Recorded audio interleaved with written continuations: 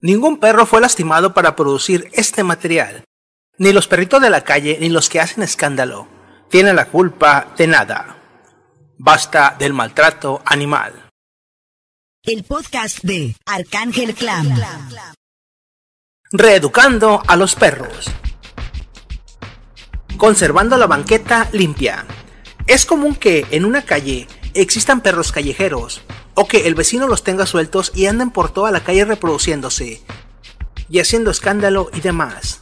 También es común que el perro marque su territorio con orina. Es una forma de comunicarse entre los perros, y una marca de orina hará que un perro corra instintivamente a olisquearla.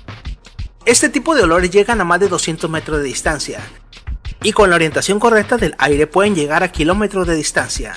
Estas marcas tienen la particularidad de durar semanas y hasta meses activas. Los perros no solo orinan y defecan, esparciendo enfermedades, sino que es común que rompan las bolsas de basura que la gente idiota deja afuera de su casa por la noche. Para que un perro deje de marcar y defecar nuestra banqueta, no basta limpiar con agua y jabón, sino que el truco es muy simple. Debemos de marcar nuestro territorio, pero no con orina, sino con cloro sin diluir, de preferencia en los lugares en donde los perros han marcado.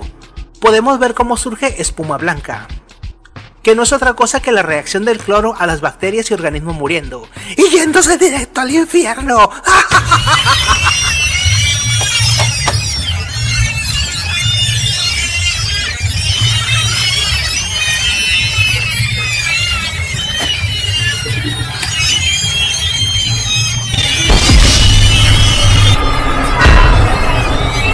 El olor del cloro y su reacción son muy fuertes y ahuyentará a cualquier perro a metros de su hogar, calle, banqueta o negocio, puesto que ellos detestan ese olor.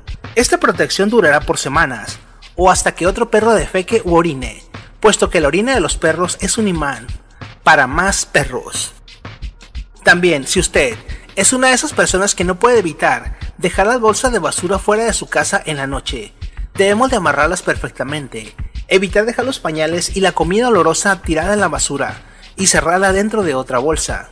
También lo que podemos hacer es antes de cerrar la bolsa rociarla con un poco de cloro por encima y luego cerrarla y echarle un poquito más de cloro. El cloro es una de las mejores sustancias para ahuyentar a los perros. Esto de poner cloro incluso ayuda a ahuyentar a las personas que orinen en una esquina. Cuando huele a orines o está sucio, instintivamente las personas acudirán a seguir haciendo sus necesidades. Finalmente, si usted tiene una bicicleta o coche y siempre le persiguen los perros, debe de considerar seriamente darse una limpia con un brujo. No es cierto. Debe considerar seriamente el regar cada llanta de su coche o bicicleta con un chorrito de cloro, puesto que los gatos suelen marcar el territorio con orina y los perros los perseguirán por todos lados por ello. Muchas gracias por escucharme y hasta pronto.